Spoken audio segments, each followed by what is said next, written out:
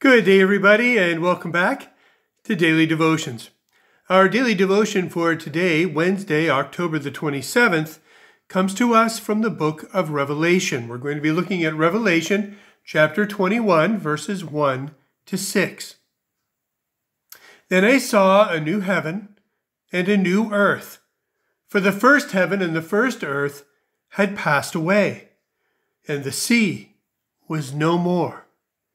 And I saw the holy city, the new Jerusalem, coming down out of heaven from God, prepared as a bride adorned for her husband. And I heard a loud voice from the throne saying, See, the home of God is among mortals. He will dwell with them as their God, and they will be his peoples and God Himself will be with them. He will wipe every tear from their eyes. Death will be no more. Mourning and crying and pain will be no more. For the first things have passed away. And the one who is seated on the throne said, See, I am making all things new. Also, he said, Write this for these words are trustworthy and true. Then he said to me, It is done. I am the Alpha and the Omega, the beginning and the end. To the thirsty I will give water as a gift from the spring of the water of life.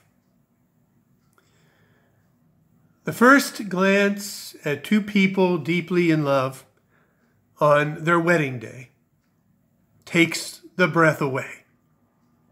Dressed in their finest, presenting themselves to each other in a covenant of faithfulness and promise.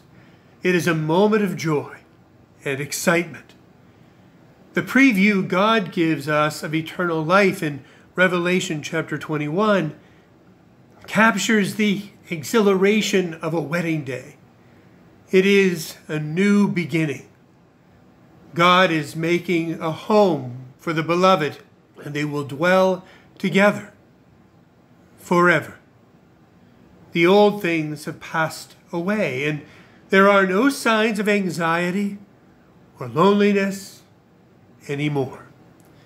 The old tears are wiped away, so there is only the amazing joy that brings two together in love.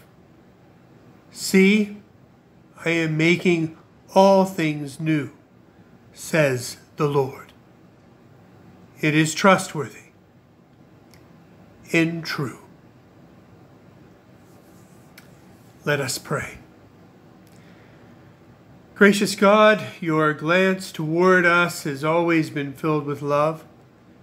Fill us with your Spirit so that our longing eyes may show you our love in return. Make us new for our life together. Amen. Grace and peace be with you this day and every day, and I hope to see you back here tomorrow. Bye now.